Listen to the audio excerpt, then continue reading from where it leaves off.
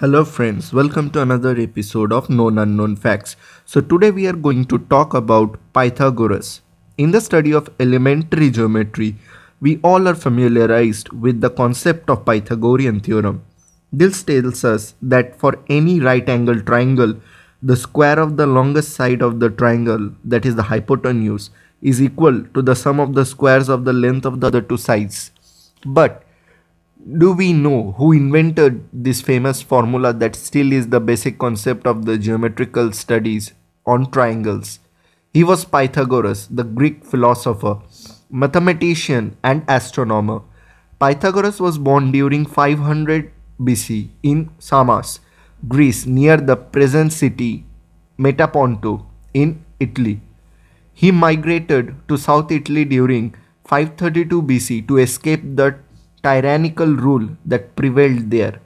But his inquisitive and probing mind always made him to share his ideas and thinking among the people.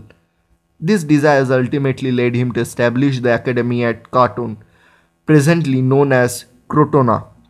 His teachings on ethics, politics, and brotherhood had a great effect over the people there. His thoughts and ideas were flourished throughout most parts of Italy and Greece, but all this eventually died out towards the end of 4th century BC, largely because of opposition from some quarters for some reason or other.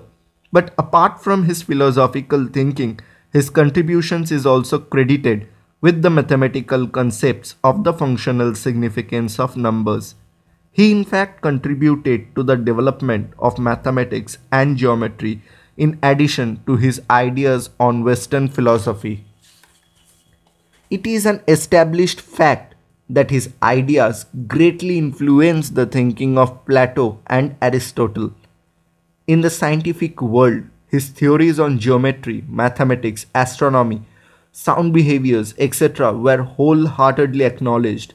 The famous astronomer Copernicus, for instance, described Pythagoras as a forerunner of the suggestions put forward by him that Earth and other planets rotate in orbit around the Sun. In 493 BC, Pythagoras died at the age of 83.